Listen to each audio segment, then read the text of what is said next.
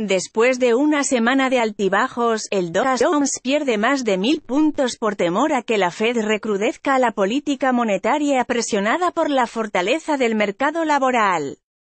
Pero, como sucedió el colapso, con una pérdida acumulada de 8,88% en solo cinco sesiones del 2 de febrero al 8 de febrero el Dow Jones DJI borró las ganancias logradas durante el 2018, retrocedió desastrosamente por debajo de los 24.000 puntos y se situó en niveles similares a noviembre de 2017.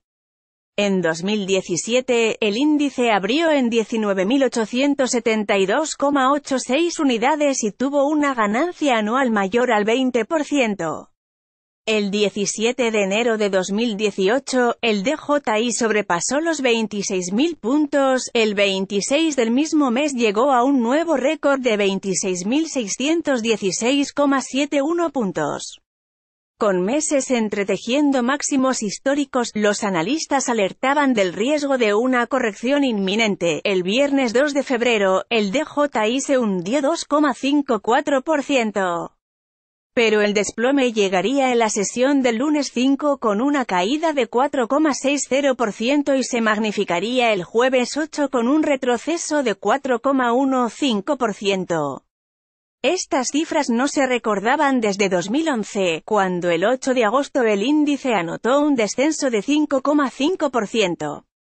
Índice Dow Jones, cierre diario 3 de enero de 2017 8 de febrero de 2018 Fuente, investing.com Dow Jones Bolsa Valores Wall Street Economía Coincidiendo con el inicio de la caída el viernes pasado se publicaron los datos de empleo de Estados Unidos.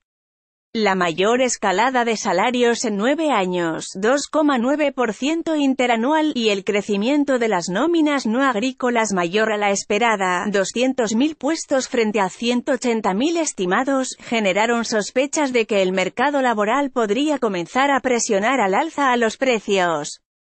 Si los datos del empleo auguraban un crecimiento apresurado de la inflación y por lo tanto, una postura monetaria más agresiva por parte de la Fed, el mercado de deuda lo confirmaba. El rendimiento de los bonos de los Estados Unidos a 10 años comenzó a perfilar nuevos máximos no vistos en cuatro años. El 8 de febrero, este cerró en 2.826% igualando niveles de enero de 2014. Cuando la rentabilidad de la deuda se eleva provoca la migración de capitales de la renta variable a la renta fija, suavizando el desempeño de las bolsas. Bono soberano de los EU. A 10 años primero de enero de 2017 8 de febrero de 2018 Fuente, investing.com Dow Jones Bolsa Valores Wall Street Economía No es secreto que en 2017 la autoridad monetaria estadounidense siguió un proceso de normalización de tasas y que este continuará a lo largo de 2018. Por lo que el aumento en las tasas de interés no era, ni es sorpresa para el público inversor.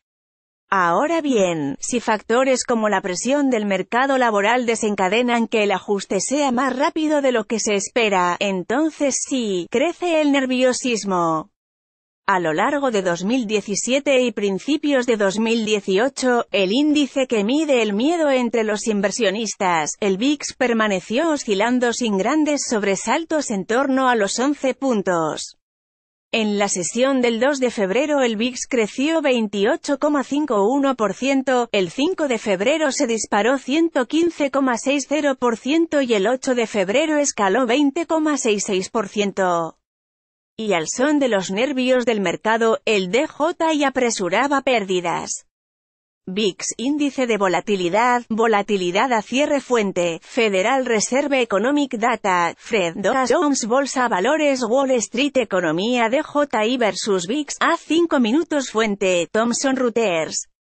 Dow Jones Bolsa Valores Wall Street Economía Ahora solo queda confirmar si el desplome del DJI fue una mera corrección de un mercado situado en máximos históricos, o si bien marcó el inicio del fin de la tendencia alcista.